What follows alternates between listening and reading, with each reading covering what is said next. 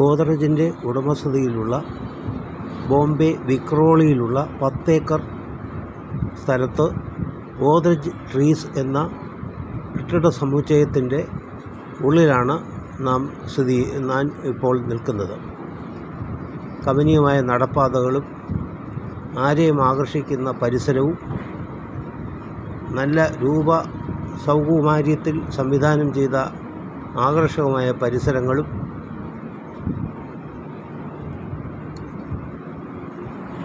എങ്ങും പച്ചപ്പണിഞ്ഞ അന്തരീക്ഷവും ആരെയും ആകർഷിക്കുന്ന തന്നെയാണ്.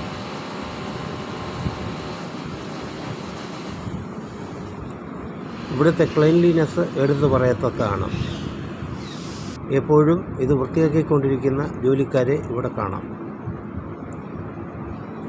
ഇവിടെ കൊമേഴ്ഷ്യൽ ബിൽഡിംഗ് റെസിഡൻഷ്യൽ ബിൽഡിംഗ് എന്നീ രണ്ട് വിഭാഗങ്ങളുമുണ്ട്.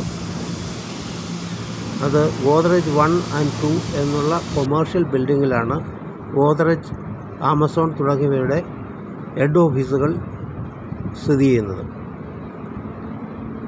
ഗോദ്രേജ് ആമസോൺ തുടങ്ങിയ തുടങ്ങിയവ കമ്പനികളുടെ ഹെഡ് ഓഫീസുകളിൽ ഏതാണ്ട് ആയിരത്തിലധികം ജീവനക്കാരാണ് പ്രവർത്തിക്കുന്നത്. വിശാലമായ റെസ്റ്റോറന്റുകൾ കോഫി ഷോപ്പുകൾ ഒക്കെ ഇവിടെ ലഭ്യമാണ്. കമനീയമായി അലങ്കരിച്ച പരിസരം ഏറെ ആരെയും ആകർഷിക്കുന്നതാണ്. പച്ചപ്പ് ഈ സ്ഥലത്തിന്റെ മുഖമുദ്രയാണ്. ദ ട്രീസ് എന്ന പദത്തിന്റെ അർത്ഥം തീർച്ചയായും അന്വർത്ഥമാക്കിയിരിക്കുന്ന ഒരു സ്ഥലം.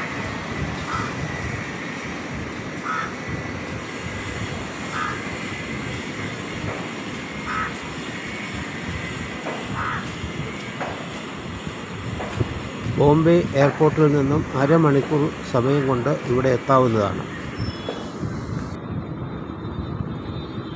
റെയിൽവേ സ്റ്റേഷനിൽ നിന്നും പതിനഞ്ച് മിനിറ്റ് കൊണ്ട് ഇവിടെ എത്താം.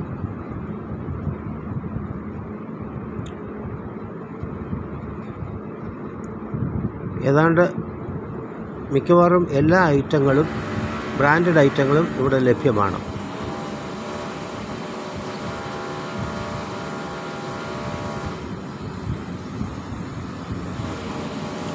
റെസിഡൻഷ്യൽ ബിൽഡിങ്ങുകൾ സ്ഥിതി ചെയ്യുന്ന സ്ഥലം.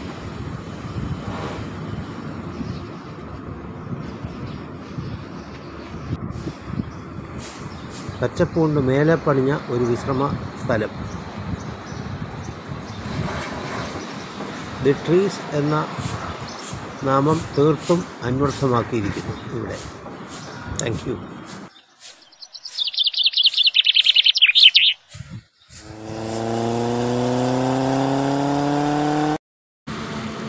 അടുത്തതായി നാം എത്തുന്നത് ബാന്ദ്ര കുർള കോംപ്ലക്സിലുള്ള ജിയോ വേൾഡ് ഡ്രൈവ് എന്ന മാളിലേക്കാണ്.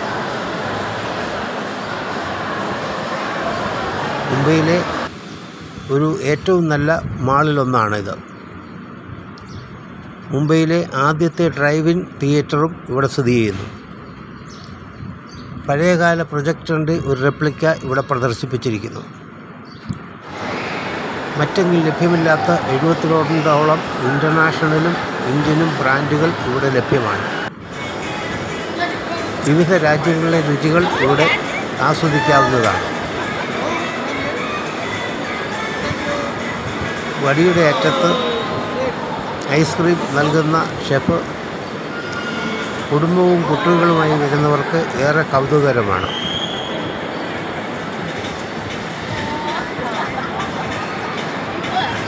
നല്ല രസകരമായ നിമിഷങ്ങൾ സമ്മാനിക്കുന്ന ഷെഫ്. അടുത്തതായി നാം എത്തുന്നത് ബാന്ദ്രയിലെ മൗണ്ട് മേരി ചർച്ചിലേക്കാണ്. സമുദ്രനിരപ്പിൽ നിന്നും ഇരുന്നൂറ്ററുപത്തിരണ്ട് അടി ഉയരമുള്ള കുന്നിന്റെ നെറുകയിലാണ് ഈ കത്തോലിക്ക ദേവാലയം സ്ഥിതി ചെയ്യുന്നത്. ധാരാളം സഞ്ചാരികളെ ആകർഷിക്കുന്നു. അടുത്തതായി നാം എത്തുന്നത് രാജീവ് ഗാന്ധി സീലിംഗ് റോഡ് അഥവാ ബാന്ദ്ര കുർള സീലിംഗ് റോഡ് ആണ്.